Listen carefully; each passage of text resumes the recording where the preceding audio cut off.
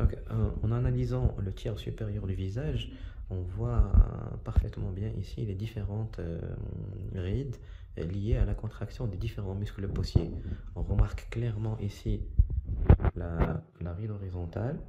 liée à la contraction du muscle procérus. On remarque ici parfaitement bien les deux rides verticales liées à la contraction des muscles corrugators, les, rides horizontales liées à la contraction du muscle frontal et les rides de la patte doigt, bien visibles ici, les rides de la patte doigt bien visibles sans même qu'il y ait de contraction musculaire et qui sont liées à la contraction justement du muscle orbiculaire.